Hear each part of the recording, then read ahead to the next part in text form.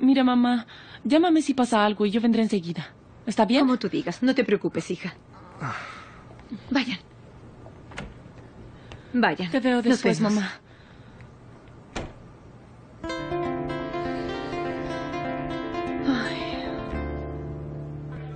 Vamos, contesta. ¿Hola? Hola, ¿qué tal? Soy yo, Tarik. ¿Estás en Dead? No, señor Tarik, se fue hace un tiempo. Pero vendría a recogerme. ¿No me dejó algún mensaje? No sé nada de eso, señor. Bien, llamaré luego. Maldita sea.